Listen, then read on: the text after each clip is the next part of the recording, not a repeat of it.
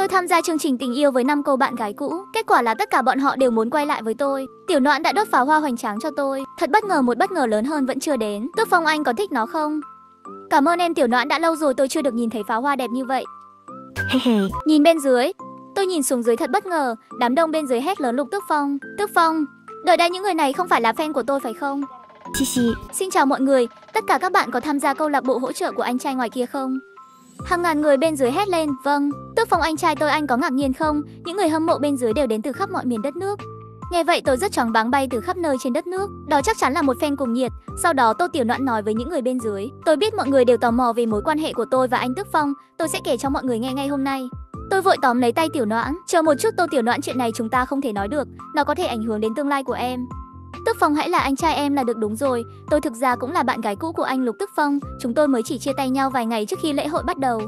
Khán giả bên dưới đều sốc phải nói thật là sốc nữ chính thực sự đã lộ diện rồi sao? Tô Tiểu Noãn tiếp tục nói, anh Tước Phong vào thời điểm đó không phải là một tin tốt, nếu ở bên nhau sẽ ảnh hưởng đến hình tuyển thế nên chúng tôi buộc phải chia tay. Bây giờ đập cũng đã tràn vào màn hình, nếu mặt trời lặn không đuổi tôi đi thì khi quay về bạn là ai? Tiểu Noãn và Tước Phong họ chia tay khi chưa nổi tiếng, chúng ta hãy nhanh chóng vượt qua nhé. Tôi không thể chịu được sự siêu việt ở phía bên kia. Tiểu Noãn, đi thôi, muộn rồi, chúng ta về thôi. Tiểu Noãn mỉm cười với tôi, cô ấy tiếp tục trò chuyện với khán giả.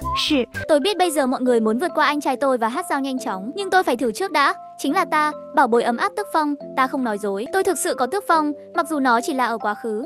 Khán giả choáng váng ngay khi tuyên bố này được đưa ra chuyện gì đã xảy ra. Tô Tiểu Noãn, không phải là thủ lĩnh của nhóm người hâm mộ cuồng nhiệt của chúng ta sao? Cô ấy cũng viết một cuốn sách có tựa đề là Em yêu anh cả ba đời và ba thế giới. Câu chuyện kể về nữ chính Tô Kim Vi và ngoài tình yêu ba cuộc đời ba thế giới. Nhiều người đã yêu mến tôi vì điều này đòn tấn công cũng choáng váng. Sao Tô Tiểu Noãn cũng là fan cuồng vậy? Điều đáng kinh ngạc hơn nữa là Tức Phong đã trở thành một ngôi sao lớn. Tôi cũng hơi choáng váng nhiều chút tôi đã biết Tiểu Noãn là fan của tôi từ trước, nhưng tôi không ngờ rằng mình thực sự là một người hâm mộ. Nhân viên hỗ trợ quản lý sẽ tự hỗ trợ và viết sách, không ngờ cô ấy yêu tôi đến mức đến mức sẵn sàng trả giá như thế. Anh Tước Phong em còn một điều nữa muốn nói với anh. Tiểu Noãn hơi rưng rưng nước mắt thấy vậy tôi vội vàng hỏi, có chuyện gì vậy đừng khóc nữa. Ngay khi màn hình phát sóng trực tiếp hôm nay xuất hiện, nhân vật của em chắc chắn đã thay đổi. Công ty đang từ bỏ em em không thể trả 5 triệu của anh. Không cần tại sao em lại trả tiền sau khi em đã làm việc chăm chỉ cho tôi. Được rồi em chỉ có thể làm vợ anh thôi bằng cách này em không phải trả lại tiền. Ngoài choáng váng một lúc, người tốt còn làm thêm một chiều khác đập cũng là mới màn hình. Tiểu Noãn trực tiếp ép Tức Phong kết hôn tôi vui quá. Một cô gái chủ động như vậy có ai lại không yêu? Tức Phong tôi khuyên bạn đừng mù quáng về thiện và ác.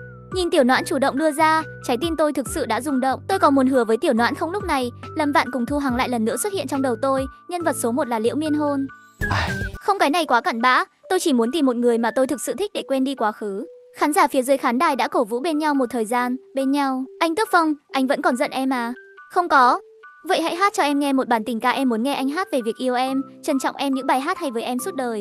Khán giả trên khán đài cũng rất phấn khích và đồng thanh hét lên, hãy vượt lên và yêu em ba kiếp và ba kiếp. Bầu không khí đã đến mức này rồi tôi không thể làm gì được nữa, tôi chỉ có thể chịu hồi hệ thống. Music.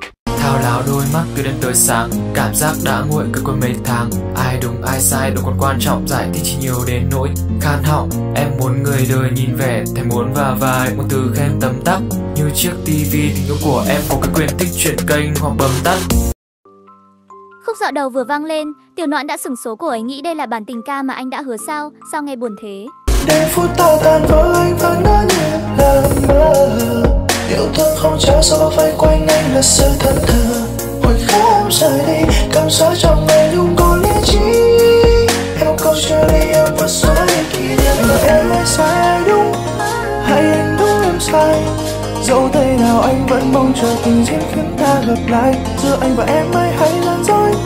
Chỉ là nói trên môi. Dù có ra sao anh vẫn mong rằng Em sẽ không rời xa nơi này. Anh còn yêu em Anh còn yêu em. Tiểu Noãn nghe mà rơi nước mắt, đó thực sự là một bản tình ca hay một bản tình ca ba kiếp và ba kiếp, nhưng kết quả có vẻ không được tốt lắm.